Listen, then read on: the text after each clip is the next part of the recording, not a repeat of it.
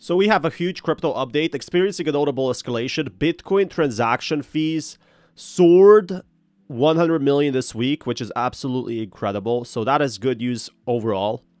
Uh, what's happening, everyone? What we're seeing right now is a incredible, incredible news. So if you guys want to be kept up to date with more content like this, you know what to do. Smash that like button because we are, let me see, more of good news overall. So here we go what's happening with Bitcoin. Bitcoin transaction fees soared to 100 billion this week, outpacing all fees on other blockchain networks. And obviously, this is expected. Ethereum is not that far behind. So that's pretty good, I would say, in a sense. Like, that's where they really win long term. But I'm really interested. Is crypto going to be seeing some sort of a massive, massive rally? Because if that happens, everybody is to win in that sense.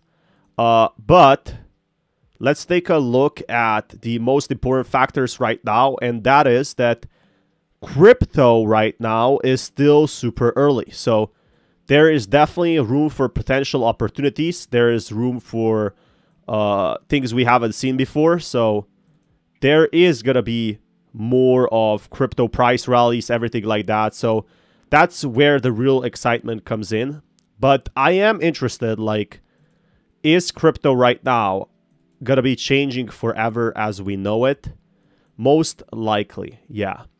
But that being said, uh, I do think that uh, right now that Bitcoin is still getting those network upgrades that a lot of people have been waiting for. Ethereum has just released its major update. Uh, that's where one huge opportunity lies. Like we have been waiting for Ethereum's network upgrade for about some time. And these transaction fees could actually lower Ethereum's uh, gas fees, and that's a good thing. I think the problem right now with Ethereum is it's very expensive to send anything. Look at this. Even Lido Finance, which is for Ethereum, has about 15 million transaction fees this week, this week alone. So 100 million per month this week was just sent for crypto trading. And to me, that sounds like a lot. This this sounds like a very expensive offboot, but this is how Bitcoin works, really. You can't really change that. If we look at something like Polygon, it has very low gas fees. If you look something at like Solana, look at this, 2.4 billion. And this is why so many people are buying Solana, uh, because it has very low gas fees. So just because this graph is low, it doesn't mean there's not a lot of users this is a false statement, you know. It actually means that there is people buying tons of these tokens on different chains, but some of these chains are much cheaper. So just imagine something costing 2.4 billion to send, and there's probably a ton more transactions as well, versus sending just a small amount. And I think this is the big, big difference that a lot of people have been waiting for a chain that could defeat Ethereum's high gas fees, that could defeat Bitcoin's high gas fees. All through Bitcoin is gonna that that ETF, which is why it's seeing so many price rises. So there's gonna be probably a ton of potential uh, in the space, like on on where we go from here. There's gonna be tons of opportunities as well, and that's where I'm really excited. Like uh, crypto seeing some major movements with with one of these like Kaspa. Look at this. Kaspa's trending, Solana's trending. Why? Because like look at this. BNB chain, Solana, they have a ton of transactions, but they don't have any fees at all. Even OpenSea, which is an NFT, it's about half of that. So there is really a ton of opportunity uh, in this market to see some price growth or, or something like that. So that's like a really, really awesome movement. Uh, I think a lot of people will be super excited for that. But again, there is once we get to where people can pay their coffee without paying five dollars for the transaction, just like the real world works, which is something that Kaspa is working on, which is something that Solana is working on. I think this is when we're gonna be seeing those big uh, bull runs in that sense. So I think that's what a lot of people are really excited for in that sense. So if you guys want to be kept up to date, uh, that's something you're interested in, uh, maybe smash that like button. And, you know, Ethereum just released their new roadmap. Let me just search it up over here. So Vitalik releases update roadmap for Ethereum. So that's pretty awesome news. So maybe we're going to get lower transaction fees. And that's something I'm excited about. That's going to be good.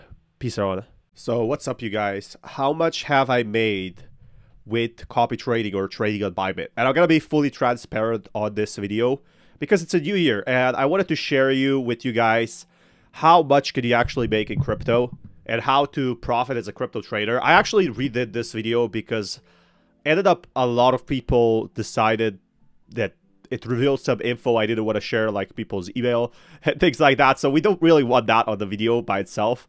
Uh, but today I'm going to be sharing everything you need to know from how much traders make to what exactly is going on. The thing I really like with Bybit is fully transparent. So that's one perfect thing with Bybit right now. It's you can really see the top leaderboards. And the top people are making like 30k per month easily just from fees alone. I know people who are making 20k from tr other traders basically sharing their affiliate affiliate link. Uh, and with copy trading, I have really earned about $100 just to test it out. I have earned about 20% gains and then it dropped back down. And from affiliate this month, I have earned about $450 from Bybit. Uh, and also from this year, I earned about $1,400. So it might not seem like much. A lot of these traders and a lot of these crypto people, they think building uh, income is easy because they see it from other influencers, you know, making ton of money, making ton of bag. And sadly, it's not that easy. It's not the world that we live in to be super easy to be next day you can have all this crypto for free.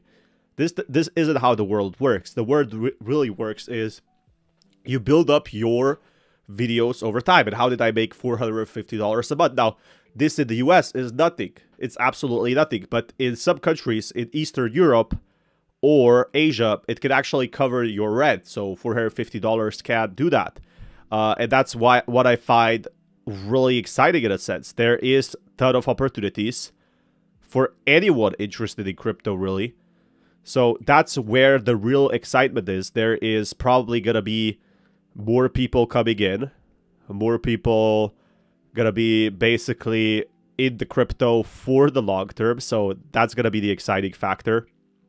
But I do think the important thing right now is to focus on what you can improve, on what income you can improve. So if it's in a job and you have a stable job, you might need to work three, four years before you can get a 10% increase.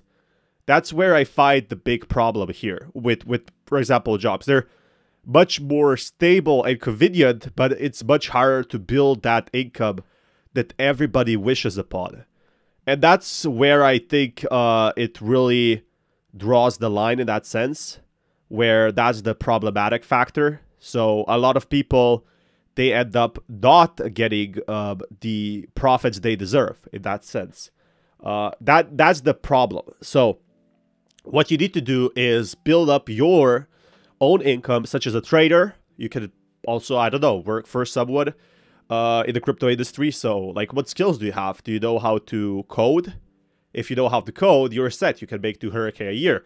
But there's not a lot of Solidity coders right now. These are like very rare projects.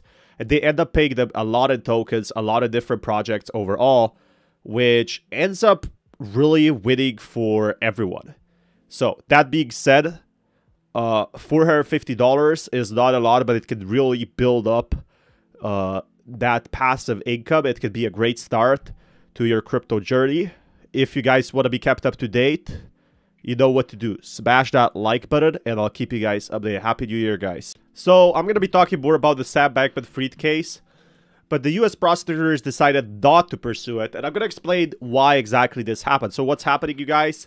I'm your host, Coin Central, and if you want more content like this, you know what to do. Smash that like button. Uh, I feel like a lot of people misunderstood on what's going on with crypto right now, and people think it's a real problem.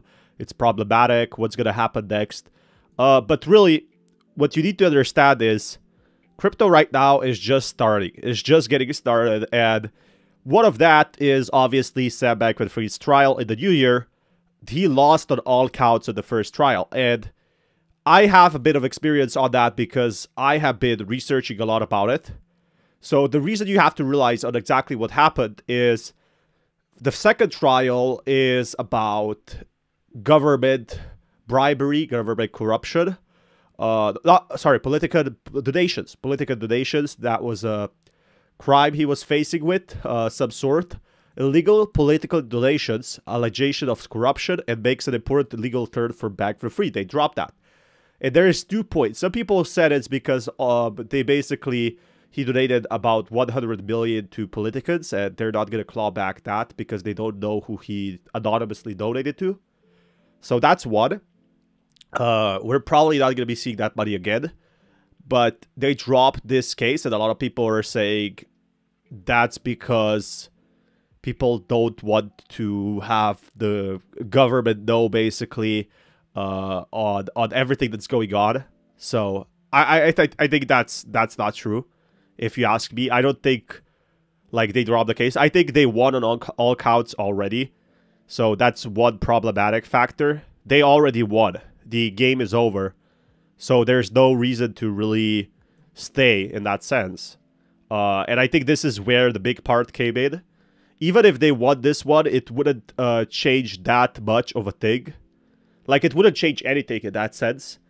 Uh, and that's where I think the problem lies. Like, a lot of people were very frustrated with basically Sam Bankman-Fried losing uh, the, all the second counts, but the se- but the second trial they just dropped it immediately uh, as they decided. So he's gonna be just sentenced on March 24th, somewhere in March.